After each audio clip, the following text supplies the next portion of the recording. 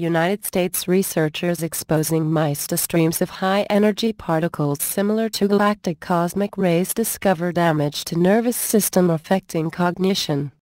Researchers in the U.S. exposed mice to streams of high-energy particles similar to those found in galactic cosmic rays and found they produced nervous system damage that caused the animal's performance to plummet. All sorts of different things. There's, there's instruments measuring the mineralogy, there's instruments measuring the, the chemistry, there's a weather station, and there's RAD, which is measuring the radiation environment. These observations from the surface of Mars uh, help us in two ways. They, they give us an indication of what the radiation dose rate would be for humans on a future human mission to Mars. But they also tell us about the radiation environment that, that uh, microbial life has to endure or survive on the surface or in the subsurface, whether it be present life or past life in an ancient Mars. This is not positive news for astronauts deployed on a two to three year round trip to Mars, said Charles Limoli, a professor of radiation oncology at the University of California, Irvine. Researchers said on Friday long-term exposure to these rays that permeate space may cause dementia-like cognitive impairments in astronauts during any future return journey to Mars, expected to take at least two half years.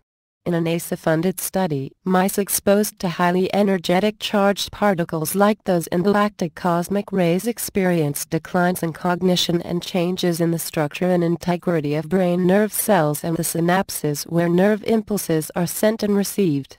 The irradiated particles in galactic cosmic rays, remnants of star explosions called supernovas, can penetrate spacecraft and astronauts' bodies. Earth itself is protected by its magnetosphere, University of California, Irvine radiation oncology professor Charles Limoli said without a doubt people would face the same issues as the mice.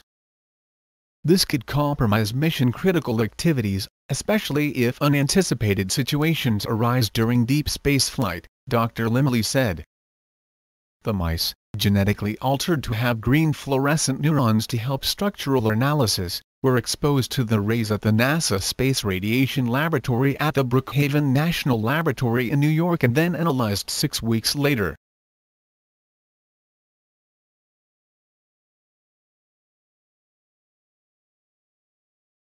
This is not a deal breaker but it represents an issue NASA needs to prepare for, Limoli told The Guardian it could develop into performance-based decrements and elevated anxiety and affect the ability to problem-solve. These effects are likely to be subtle, however, and would not preclude our efforts to plan future manned deep space missions.